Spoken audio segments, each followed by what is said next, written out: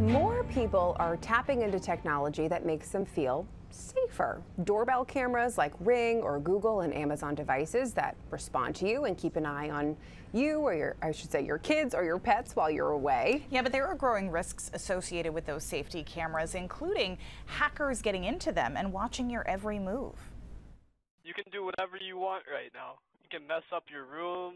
Terrifying video out of Tennessee and places all over the U.S. showing hackers tapping into home security cameras. They kind of like light skin. I don't know. What?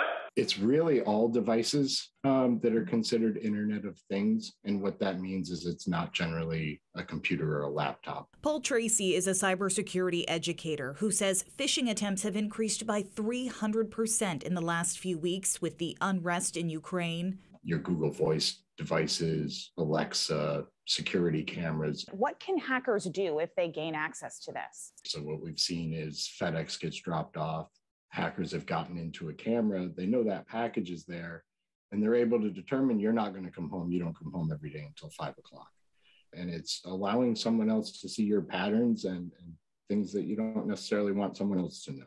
So, what can you do to protect your devices and your family? Tracy says change your passwords. Don't keep the admin one that came on the bottom of your internet router or your device. Have different passwords for different devices. And pay attention to any software updates. Just like you would check the batteries in your, your fire alarms, carbon monoxide detectors right? Maybe put something on your calendar that says, uh, you know, I have automated automatic updates applied, but I'm gonna once a month I'm gonna check and make sure that all my stuff is up to date. If you come to realize that someone has gained access to your system, does changing the password immediately help, or are there other steps you have to take? These devices you really want to be on a separate network, right? So a lot of times people are familiar with setting up a network for their kids um, so they can monitor it on their home router.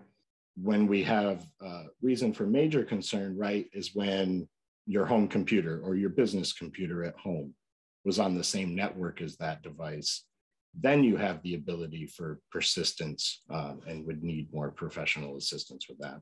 Let's say you don't have someone talking to you through your ring camera inside the house. Is there a way to, to see if someone else has accessed your stuff? There are clues that you can look for. Your internet becomes ext- increasingly slow, um, but you haven't added any devices, right? You're not necessarily streaming four movies right now. Why is it so slow? And sometimes that's the provider.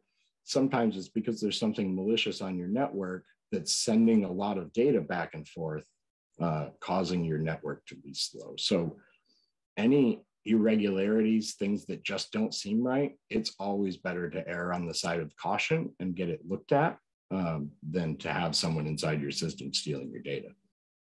One more thing, do your research on these cameras before you buy one. Is it a reputable company? Do they update their security software regularly? There are cybersecurity companies all over Maine. You can find one near you if you need extra help.